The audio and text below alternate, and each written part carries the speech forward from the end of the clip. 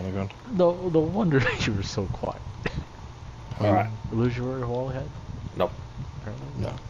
Grab a bonfire so we can have this red area ready to go. Oh. Because we cannot enter this area yet. Oh, this is the memory of Sir One, I assume.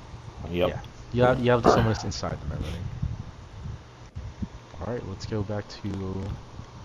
Let's go back downstairs. I thought we got actually invaded. I was like, who the fuck no. named themselves Prowlers? I was like, oh right, yeah, these fucking guys.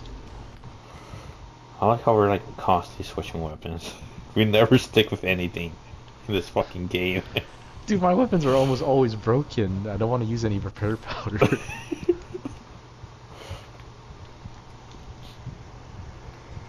Wait for me. Bye, Julio. Why the fuck? Why did you do that?